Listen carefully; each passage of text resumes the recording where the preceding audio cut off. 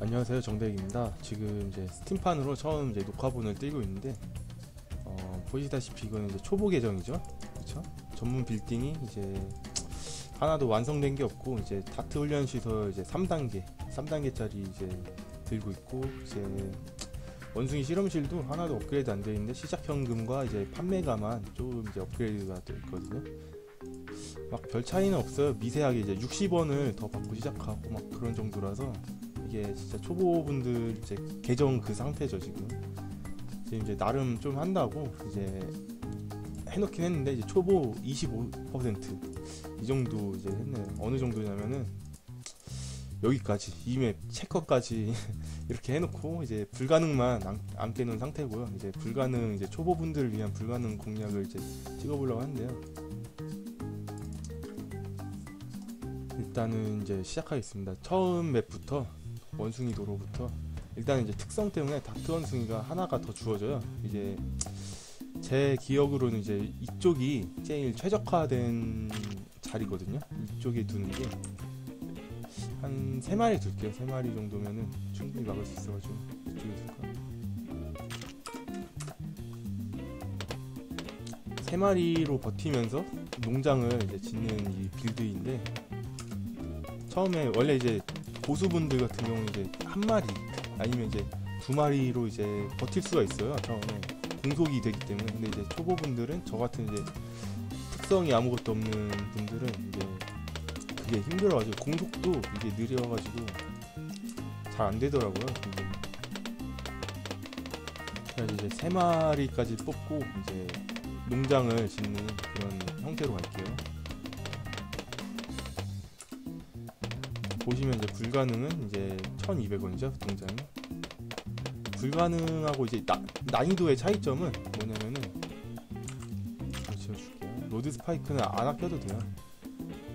난이도의 차이점은 이제 풍선 속도가 빨라지고 이제 그 물건 업그레이드나 아니, 건물 업그레이드나 건물 비용들이 비싸집니다. 보시면 이제 3, 360원이에요. 초보로 할 때는 이제 막 220원인가 막 그랬던 것 같은데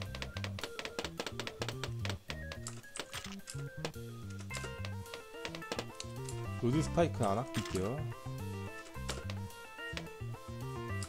이게 스팀판이 확실히 편한 것 같네요. 이게 모바일로 하면 이제 한계가 있는데 단축키를 이용해서 이렇게 쉽게 쉽게 지어줄 수도 있고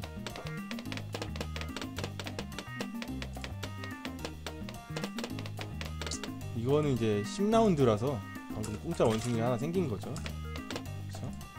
10라운드가 될 때마다 원숭이 한 마리를 공짜로 지을 수가 있어요. 그리고 음, 얘를 업그레이드를 좀 해줄게요.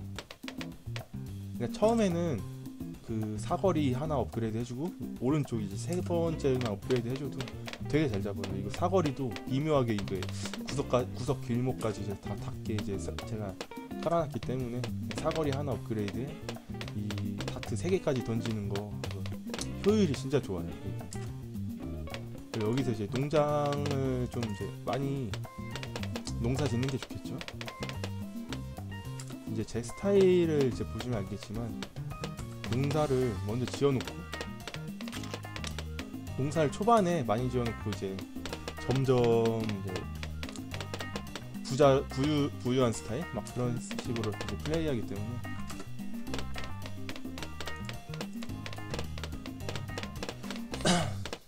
이게 판매가가 있으면은 농장을 이제 막 팔고 업그레이드하고 팔고 업그레이드 하면서 이제 불릴 수가 있는데 초보 계정이기 때문에 이제 파는 거는 좀 손해거든요. 그러니까 이제 천천히 올려보도록 할게요. 원숭이 한 마리 더.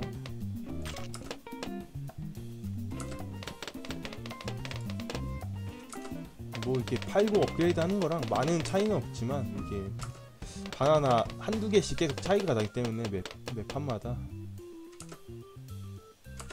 그리고 이거는 이제 road spike. 바나나를 하나 더 지어줄게요.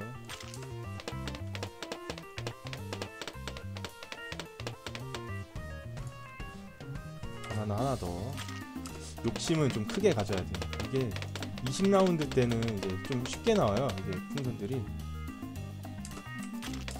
그래가지고 이제 업그레이드 하기가 쉽죠?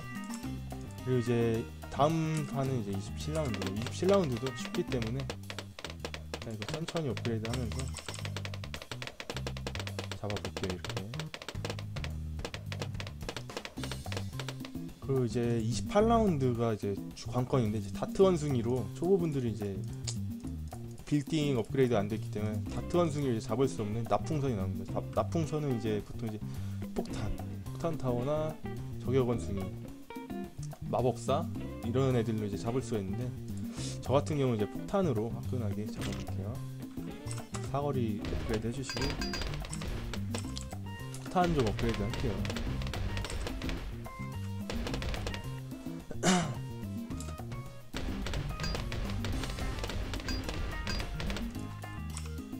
그리고 이제 라운드를 잘 보셔야 돼요. 33라운드에 또 이제 캐모 풍선이 나오기 때문에 캐모 풍선이 이제 좀 여러 개 나오기 때문에 이제 라운드를 잘 봐주셨다가 이제 슬슬 이제 요 강화된 시력 있죠? 요거를 이제 업그레이드 두 마리만 해주시면 돼요. 두 마리만. 그리고 나머지는 이제 요거 팔자. 요거 팔고 농장 업그레이드 해줄게요. 이렇게 두 마리만 업그레이드 해놓으면은 잘 잡더라고요. 이게 한 마리는 좀 애매하긴 한데 두 마리는 잘 잡고 이제 접속탄 요걸로 업그레이드 할게요.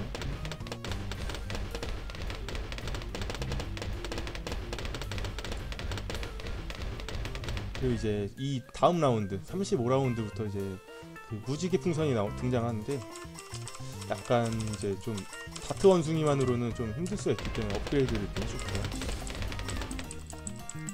무지개 풍선 나왔죠? 이렇게 업그레이드 해주고 그냥 무난히 잡으시면 될 것 같아요.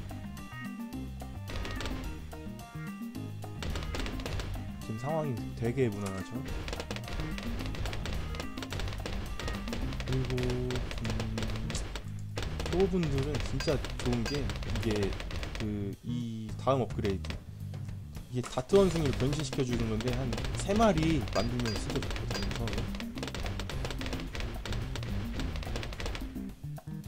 일단은 뭐 요거 업그레이드 해주고 요 마을을 하나 깔아줄게요. 마을이 진짜 이게 뭐냐면은 이제 주변 이제 타워들이 이제 buff가 생기는 건데 저 같은 경우는 이제 요거 왼쪽 거 두 개를 우선 찍어 찍어 놓습니다. 그리고 이제 다음 라운드 이제 40라운드 40라운드부터 이제 세라믹 풍선이라고 갑옷 풍선 되게 튼튼한 풍선이 나오기 때문에 한번 이제 지어보도록 할게요. 아마 요 정도면 막지 않을까 싶은데? 한 7개의 이제 이 폭탄 이 정도면 막을 정도라고 생각하고 이제 이렇게 지었습니다. 그리고 이제 충격 풍선 업그레이드를 할게요. 충격 풍선은 이제 다들 아시다시피 이제 풍선들은 이제 스턴을 먹여요. 그래서 이제 이 조만한 이 뭐야 다트 원숭이들이 이제 때리기가 편해지죠.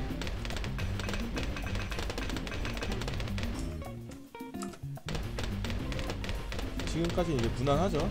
아마 45라운드까지는 이 조합으로 이제 무난히 잡을 수 있는데 어 46라운드부터 이제 큰 풍선이 나오는데 그게 이제 거기서부터 좀 까다롭긴 해요.